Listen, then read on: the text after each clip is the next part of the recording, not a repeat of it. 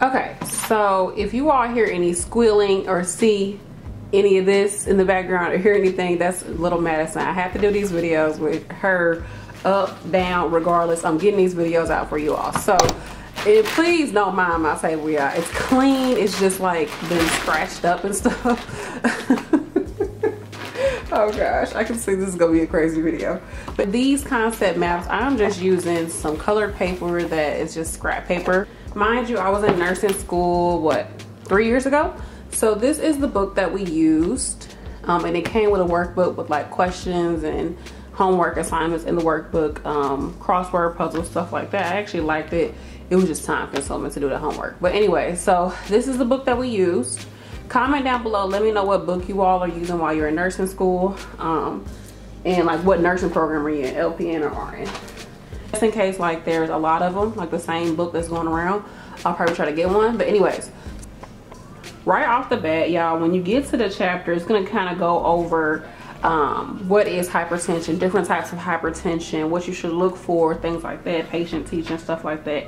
Now, um, depending on your program, some programs will have uh, what do you call it? They'll talk about the drug and the disease at the same time. And sometimes you'll have just pharmacology and then you have med surg where the drugs come back up again in med surg when you learn about the actual disease.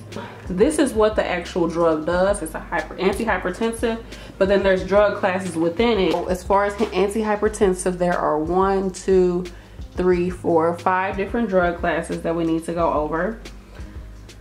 So we're gonna make a concept map just looking at the different drug classes and how they actually work because um, like I said in a previous video, once you understand the action of the drug, it really helps you to understand um, the side effects and what it's used for and what to look out for, patient teaching, things like that. Um, action is so important. That's why anatomy and physiology is so important because that we have to understand how these drugs are working within our body. Just use scrap paper. It's not that big of a deal.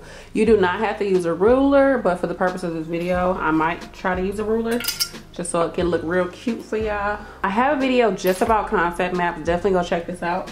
But in these series, I'm going to be looking at specific drug classes, specific drugs for you all, um, and making it like more tailored to pharmacology versus just a general, hey, this is how you do a concept map. But if you want to know just how to do a concept map, go watch one of those videos. So as you can see, this is the center of our concept map. These are all our different drug uh, classes. And then we're gonna branch off from there and show the actual actions. So let's start off with calcium channel blockers.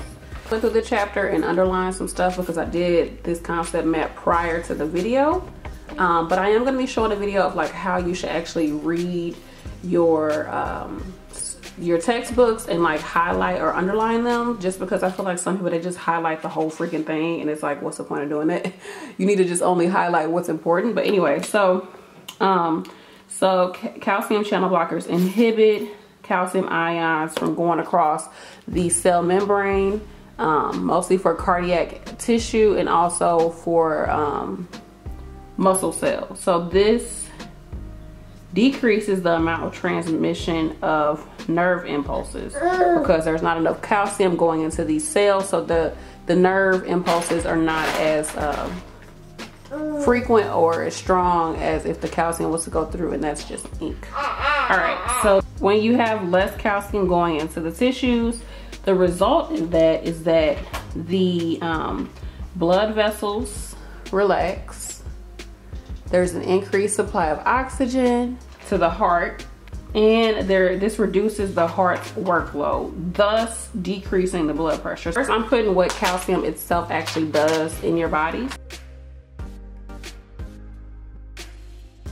With me putting what it, calcium actually does this is just a reminder for me to know how calcium itself works in your body versus just what this drug is doing. You have to understand you know what's the importance of it. So put that there so that we know calcium is moving into these uh, different cells of your body and it creates nerve transmission. So if we're gonna block the calcium what's gonna happen? So once we block the calcium this drug basically decreases stops inhibits whatever you want to call it calcium so i'm just gonna put my um like yeah. like no calcium. So however you need to do it, like for your shorthand, definitely work on that. Develop shorthand when you're doing notes and um, studying because it's just shorthand, so it's gonna make it a lot easier. So it's gonna stop the calcium from moving. It is going to decrease the transmission of nerve impulses. Once your blood vessels are able to relax, then the blood is actually able to perfuse um, the cells, the blood chambers, what the blood chambers, the heart chambers, wherever the area where the blood is going, is able to actually flow through it easier and um, without so much force. And when that happens, you're able to get more oxygen to your heart. And then your heart, once it has more oxygen and your vessels are relaxed, then it doesn't have to work so hard to pump everything out. And thus, this is what creates lower blood pressure. Okay, so that's calcium channel blockers. Let's look at another one. So Okay, so for angiotensin converting enzyme inhibitors or ACE inhibitors, there's a few things that I underline. So, so what they do is they stop the renin angiotensin aldosterone system, which is a huge system. If you have not learned about it, you will. It seems crazy and confusing, but it's gonna keep coming up, coming up, coming up. So don't get overwhelmed by that. But basically it's going to uh, suppress that system. ACE itself is a vasoconstrictor. So that's why I underline this. Remember, if we're constricting the blood vessels, then we're gonna have higher blood pressure. The blood vessels are constricted. This create this that constriction itself causes the adrenal glands to start secreting um, this hormone called aldosterone. So what aldosterone does is it promotes the retention of sodium and water um, within the body, which contributes to the raising of your blood pressure. This drug works is it basically it stops your blood vessels from constricting, which is happening due to this whole process of renin angiotensin angiotensin aldosterone system. It's basically stopping that from happening and it's stopping the vasoconstriction, which the vasoconstriction causes you to your body to secrete aldosterone. Your, when your body secretes aldosterone, it causes your body to um, hold on to more sodium and water, which raises your blood pressure. So if we just can stop this first thing, which is the vasoconstriction, which has to go with ACE, if we can stop that, then we can stop this whole cascade from happening as well. So this is how this drug works. I hope that makes some sense. It stops. I'm not gonna write the whole thing. Angiotensin, I'm not gonna write that whole thing. I'm just gonna put N-G-O and a T. So it stops this process, which constricts your blood pressure, your blood vessels. So basically your blood vessels are not constricted no aldosterone. And then here I'm just putting what aldosterone does so I can remember for myself.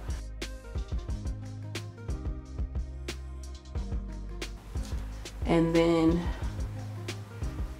so this would be like one, two, and three. So thus you have decrease BP. I like, for me, just with me learning this, if I was just learning this brand new, for me to put what this process does um, will help me to understand this whole sequence also it will help me to understand what this drug is doing so it's stopping it's stopping this stopping this whole cascade from happening and it's helping us to reduce our blood pressure. Then we have the angiotensin 2 receptor antagonist. So something is an antagonist that means it's like it's against it you know what i'm saying? So um, this is what I got from it. So these drugs act to block the binding of angiotensin 2 at different receptor sites. Um, in the vascular muscle and also in the adrenal gland. So remember we said that angiotensin, these ACE inhibitors, or the ACE itself, angiotensin constricts the blood vessels. So if this is stopping angiotensin from actually being able to um, bind to these muscle cells and to these blood vessels, then it's gonna stop the vasoconstriction. And when it stops the vasoconstriction, remember vasoconstriction causes aldosterone from being causes aldosterone to be secreted and aldosterone de- um, holds on to more sodium and water in your body which will uh, increase your blood pressure. But if we can stop that whole cascade we will decrease our blood pressure. So the difference between these two is this actually stops the process of the conversion. This is why this is has this converting enzyme so this actually stops angiotensin from going to angiotensin 2. It stops it. It stops it at that site. Whereas this, angiotensin 1 is still converting to angiotensin 2. But once it's time for the angiotensin um, 2 to make its way to the actual blood vessels, there's nowhere for it to go. So there's a picture here I want to show you all if I can find it. So this photo is not necessarily showing angiotensin and the actual drug, but this is just showing you um, a synapse. So you may or may not have learned this, but you have learned it. If you took AM, if you're in pharmacology, you took A&P. So the synapse is where we have the actual, we transmit nerve impulses, hormones, things like that from one area to another area. This is called the synapse. So the way that these drugs work, so the way that these receptor antagonists work is they block um, angiotensin 2 from getting onto the receptor. So let's just say this right here is angiotensin 2. And this right here is one of like your um, muscle fibers or blood vessels, okay? So these little sections right here is the receptor sites. And these little areas right here are the neurotransmitters or the hormones that will then attach itself to these receptor sites and then cause an impulse to happen. So what this drug does is it somehow it puts an enzyme right here or it puts something right here so that when it's time for angiotensin 2 to come around and attach to it and create the transmission, there's already something here. There's already going to be here. There's already going to be some type of enzyme or something right here that's blocking the angiotensin from even doing anything.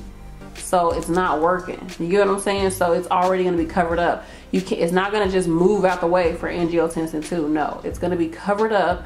It's already going to be a. That's how it's going to block the transmission. I hope you all understand it. I hope I'm explaining this the right way, and I hope that it's getting through to you all. Um, once again, I am not a professor. I'm just a girl that can read. That's a nurse. Okay, so definitely read your own materials and talk to your professors about it and get an understanding for yourself. But this is just my way of explaining it um, to help you all the best way that I can. And I'm just doing the best I can, okay? So basically that's how it works. So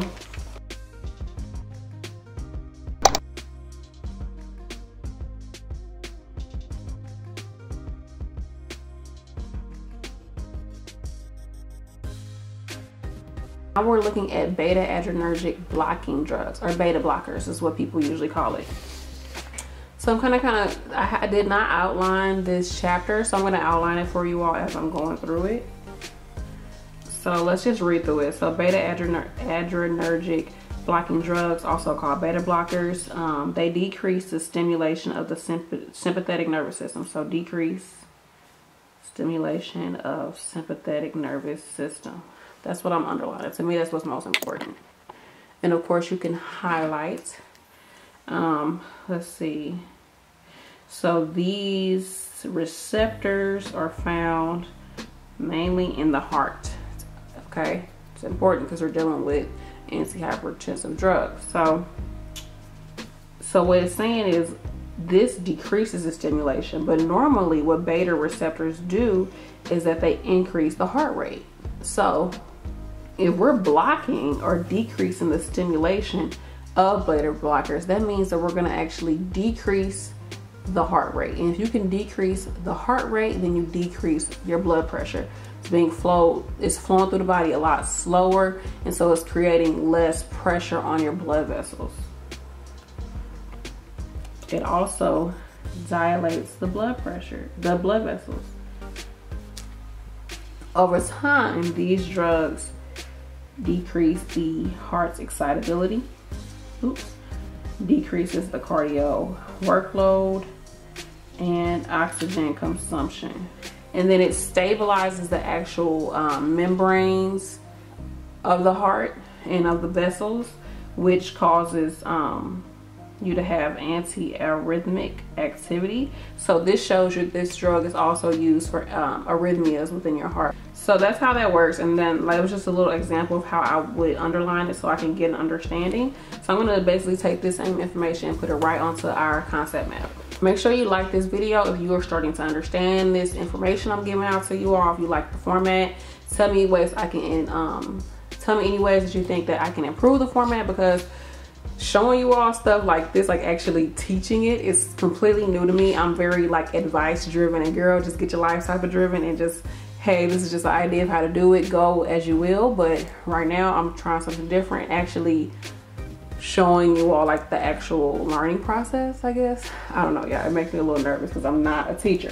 It decreases stimulation of the sympathetic, I'm not even gonna write it all out, sympathetic nervous, I totally spelled that wrong, nervous system. Um, it could also just be uh, SNS, sympathetic nervous system. Um, is that beta blockers, sorry, mainly on the heart. So these receptors these are actual receptors that are on a heart. Remember what we said about receptors? Receptors are there, they're open, they're ready for something to attach to it so that a nerve impulse can occur. So these receptors are mainly on your heart. Is it blocks? Beta. Duh, that's why it's called beta blockers. So it blocks beta and decreases the heart rate. It dilates blood vessels. So as you can see as a trend, if we are able to relax the blood vessels or dilate the blood vessels, meaning opening them up more, then we're gonna have lower, um, what do you call it, lower blood pressure and also lower work on the heart itself. You can just open them blood vessels just a little bit. It helps the heart to not to have worked so hard to push through, you know? It's like you're gonna have to work hard to get through this versus if it's open, you just flow right on through, okay? So that's enough of those hand and pen analogies. First thing is I want to talk about all those different things that it says that it does. So what you got to understand is beta blockers are not just gonna decrease the heart rate and dilate the blood vessels. It's gonna do that, but in doing that, it's gonna create a whole lot of other things for your heart, okay?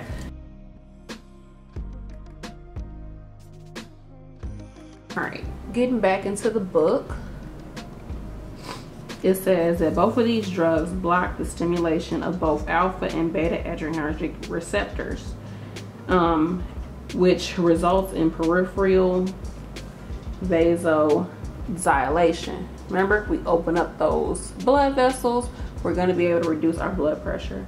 That's super easy, like, that's all it does. Is it blocks the stimulation of both of these, um, receptors, okay? That's it, that's all I do. So that's what we're gonna write. We know that beta blockers are mainly found on the heart. They're found in other places, but mainly they're found on the heart. Alpha is found all throughout the body. Uh, I can't remember specifically where, but it's found not just, it's, it's not found on the heart. Anyway, so this is more peripheral, meaning anything outside the heart is peripheral, okay? So um, that's how that works.